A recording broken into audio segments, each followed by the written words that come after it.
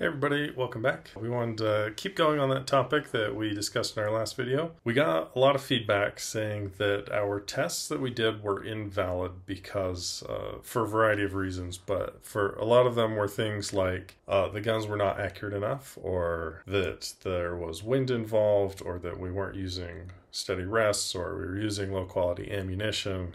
And we understood all of these variables going in and essentially, what we're trying to prove is that when you add all of these variables together of anything that makes the rifle less precise, that is what causes non normal distributions. It's been a long time assumption that groups are normally distributed, and we needed to prove or disprove that in order to find the correct statistics model. And so we, we disproved that they're normal, we proved they're they're non-normal, and so that gives us this, the right statistics model. So now when we go out and we shoot the most accurate groups we can from our best guns from indoor ranges and things like that, and we want to compare these really fine details, now we have the right model to do that. There was one criticism in particular that uh, caught my eye that the uh, barrel heat would have affected the test. And that, that goes in with all those other variables that we explained that that is actually what we are trying to test is lots of variables. Um, barrel heat was one of them.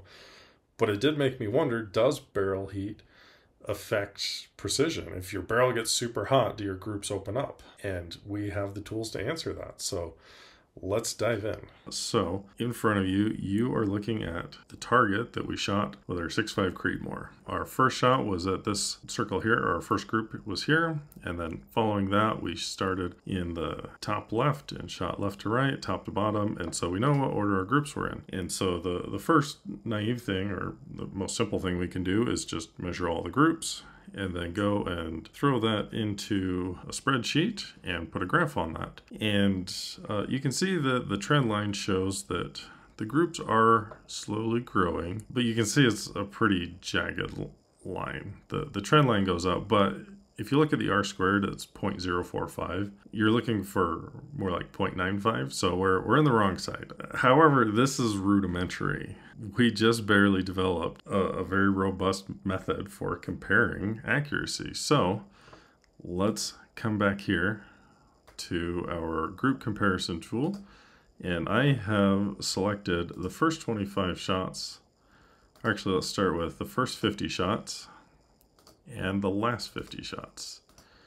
So I went through, so this is the exact same target in here twice, but this one only has the first 50 shots marked, and this one only has the last 50 shots marked. Come down and we can see we've got these scatter plots. Uh, they don't appear to be particularly different. We come down, uh, neither of them are normally distributed as we expect because we've seen that before already, so no surprise there. The standard deviations are almost identical between the two. And if we go down, um, no significant difference found. P is 0.497, which is uh, canonically there is absolutely no difference. But let's let's do this again, but let's just do the first 25 rounds and the last 25 rounds because perhaps it only took 25 rounds to heat it up to a point that was detrimental. So let's let's compare these. Uh, same thing here where we've got the first 25 here and nothing else. And then here we've got the last 25 and nothing else. We go down, we've got two scatter plots. Uh, we're dealing with smaller sample sizes, so it's not as nice. Um, our standard deviations are slightly different this time, not by much. But if we come down a little more, we can see no significant difference found. Our p-value is slightly lower, but not enough to make a difference. It's still not significant. However, there is one interesting thing to note. On these scatter plots, you'll see this x is the center of our group, but this x is our aiming point. And then on this one, our group center is here, but our aim point is here. So if we look at this, this guy is about, if I remember right, um, nearly an inch over. So if we go back and look at our target again, you can see our first group straight down, and then the subsequent groups are down, straight down from our dot, our aim point.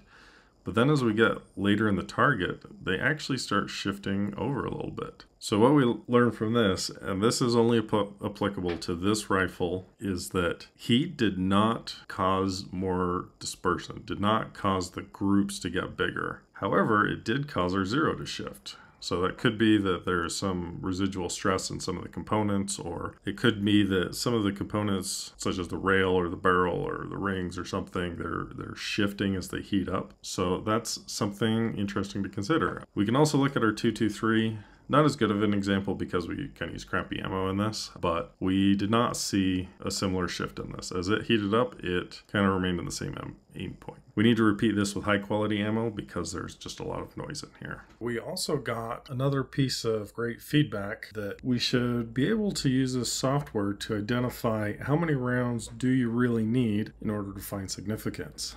So let's start with an example of the CZ455 with the Norma ammunition and the same rifle with the SK ammunition. So we've seen this before where we shot 100 rounds of each. Uh, we get a scatter plot.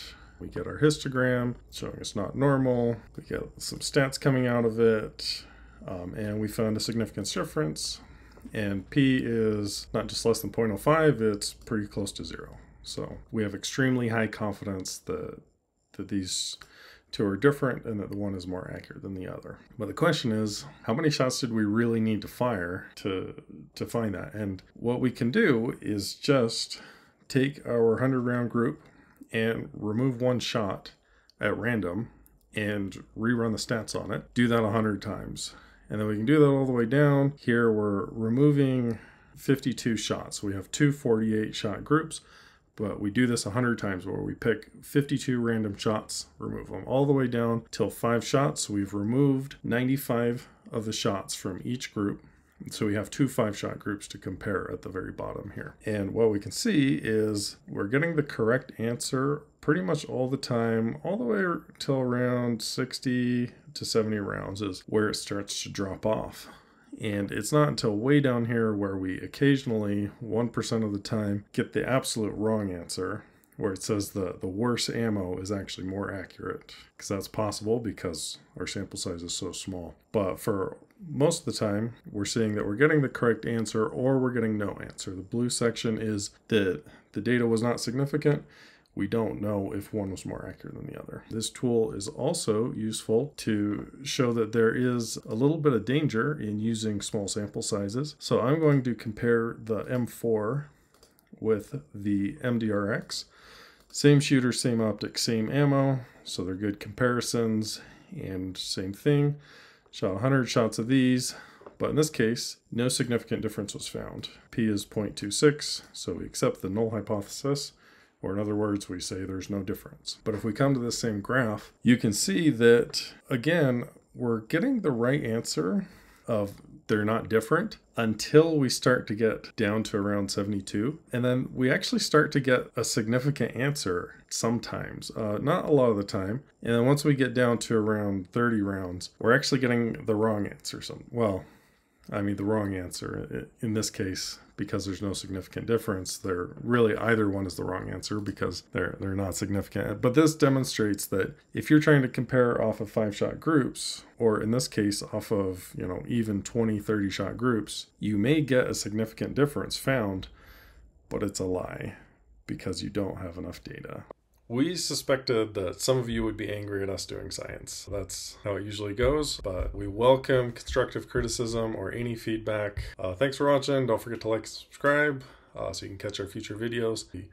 We will just keep doing science uh, no matter how mad any of y'all get.